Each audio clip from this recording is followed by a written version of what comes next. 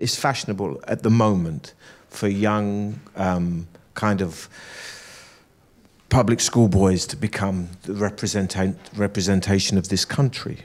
30 years ago, people like me um, would have been, it would have been fashionable to be working class.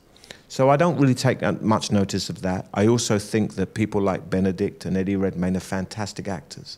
They can't be denied. I think the problem is there are young kids who, who could be just as good who haven't got the means to fulfill their potential. And that's something as a country that we have to address.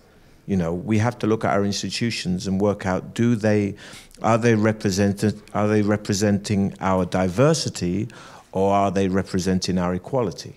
And as a country we have to address that through bursaries and funding.